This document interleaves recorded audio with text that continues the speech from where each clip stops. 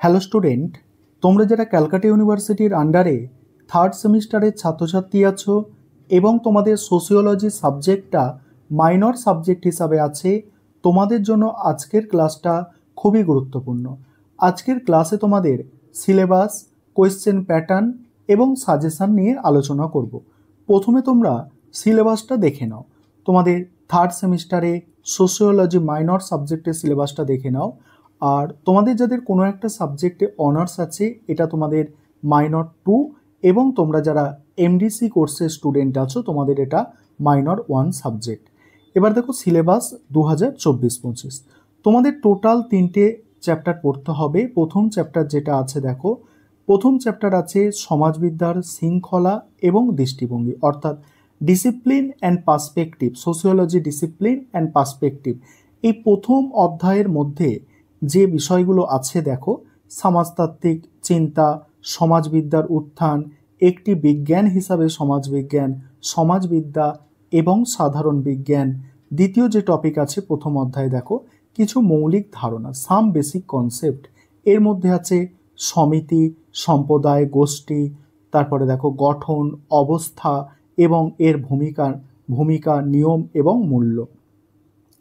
তারপরে পরের যে টপিকটা আছে, দেখো, তিন নম্বর টপিক প্রথম অধ্যায়ের মধ্যে আছে, দেখো, ব্যক্তি এবং সমাজ, সামাজিকরণ, ধারণা এবং ধারণা এবং সংস্থা, সংস্কৃতি, সংস্কৃতির মধ্যে আছে অর্থ এবং বৈশিষ্ট্য, সাংস্কৃতিক ধরন, জনপ্রিয়, তারপর অভিজাত, লৌকিক এবং উপভোক্তা সংস্কৃতি, বহুত্ববাদ এবং বহু সংস্কৃতবাদ সংস্কৃতি এবং ব্যক্তিত্ব। এটা গেল প্রথম অধ্যায়।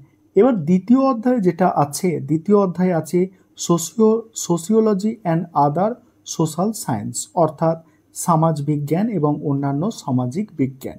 তার মধ্যে যে টপিকগুলো পড়তে হচ্ছে, প্রথমেই পড়তে হচ্ছে দেখো সোশিওলজি অ্যান্ড সোশ্যাল অ্যান্থোপোলজি অর্থাৎ সমাজ বিজ্ঞান এবং সামাজিক নৃবিজ্ঞান।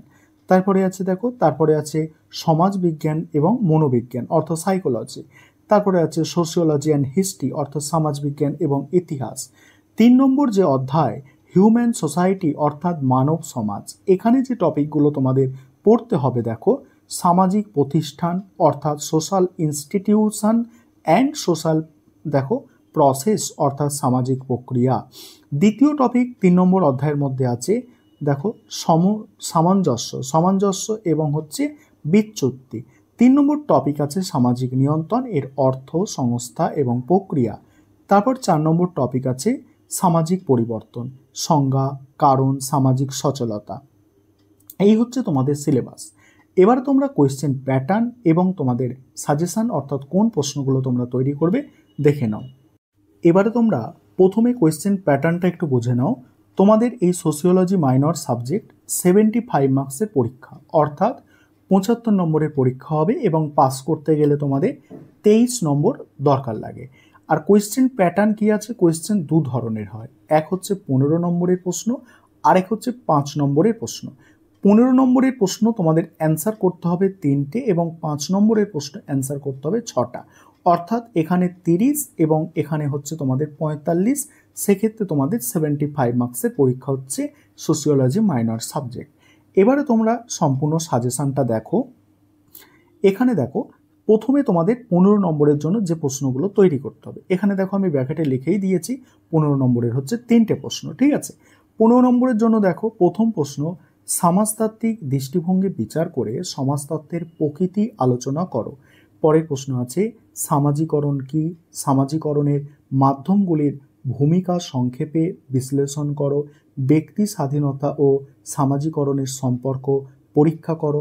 পরে আছে দেখো তিন নম্বর প্রশ্ন আছে সামাজিক সচলতার প্রধান সহায়ক, দেখো সহায়কগুলি কি কি? সামাজিক ভারসাম্যর ওপর এর প্রভাব কি? নেক্সট আছে সামাজিক মান থেকে বিচ্যুতি ও সামাজিক নিয়ন্ত্রণের সম্পর্ক ব্যাখ্যা করো। তারপরে প্রশ্ন আছে সমাজতত্ত্ব ও সমাজ জ্ঞান এর সম্পর্ক বিশ্লেষণ করো। নেক্সট আছে, সামাজিক প্রক্রিয়ার সংজ্ঞা দাও। যে কোনো দুটি সামাজিক প্রক্রিয়ার উদাহরণ সহযোগে আলোচনা করো। নেক্সট আছে, সামাজিক পরিবর্তন কি? সামাজিক পরিবর্তনের যে কোনো দুটি উপাদান ব্যাখ্যা করো। নেক্সট আছে, দেখো, সমাজতত্ত্ব কি? সমাজতত্ত্বের বিজ্ঞান মনস্কতা বিষয়ে বিতর্কটি আলোচনা করো। তারপরে দেখো তারপরে প্রশ্নগুলো আলোচনা করব পনেরো নম্বরের এবং পাঁচ নম্বরের। তার আগে যে বিষয়টা বলার আছে, তোমাদের জন্য সোসিওলজি সাবজেক্টের অনলাইন কোচিং ক্লাস চলছে। তোমরা যদি কেউ অ্যাডমিশান নিতে ইচ্ছুক থাকো, এই নম্বরে যোগাযোগ করতে পারো। Nine one two three nine one two three double zero double zero five two five two one eight এই নম্বরে তোমরা যোগাযোগ করে অ্যাডমিশান নিতে পারো। আমাদের সপ্তাহে দুদিন করে ক্লাস হয়ে থাকে এবং পার মান্থ দুশো টাকা করে ফিস নেওয়া হয়। আর তিন মাস ক্লাস অর্থাৎ টোটাল হচ্ছে ছশো টাকা কোর্স ফি থাকছে এই সোশিওলজি মাইনার সাবজেক্টের এবারে তোমরা পরের যে প্রশ্নগুলো আছে, দেখো। অন্যান্য সামাজিক বিজ্ঞানের পরিপ্রেক্ষিতে সমাজতাত্ত্বিক দৃষ্টিভঙ্গির স্বতন্ত্র নির্দেশ করো। নেক্সট আছে সংস্কৃতির সংজ্ঞা দাও। সংস্কৃতির বিভিন্ন প্রকার সম্বন্ধে আলোচনা করো। নেক্সট সামাজিক বিচ্যুতির প্রধান কারণগুলি বিশ্লেষণ করো। তারপরে আছে, দেখো, সমাজতত্ত্ব ও নৃতত্ত্ব বিদ্যার মধ্যে সম্পর্ক।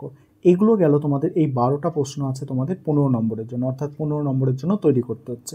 এবার পাঁচ নম্বরের জন্য একটু বেশি প্রশ্ন তোমাদের পড়তে হবে, কারণ তোমরা জানো তোমাদের সিসিএফ সিলেবাসটা নতুন সিলেবাস, ঠিক আছে?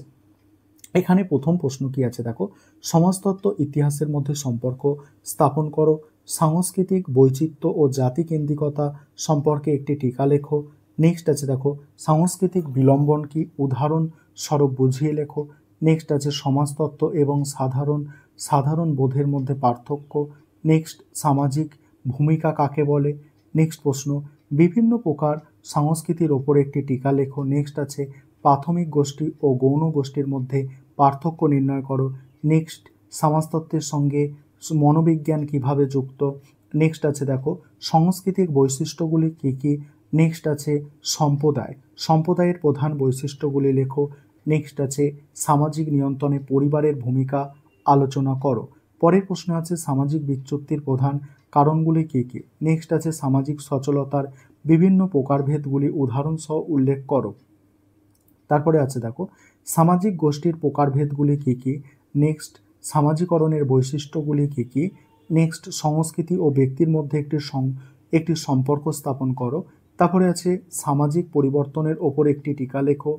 তারপরে আছে দেখো যে কোনো একটি সামাজিক প্রতিষ্ঠানের ওপর টিকা, আর শেষ প্রশ্ন আছে, সহযোগিতা ও দ্বন্দ্বের মধ্যে পার্থক্য নির্ণয় করো। এই ছিল তোমাদের সিলেবাস কোয়েশ্চেন প্যাটার্ন এবং সাজেশান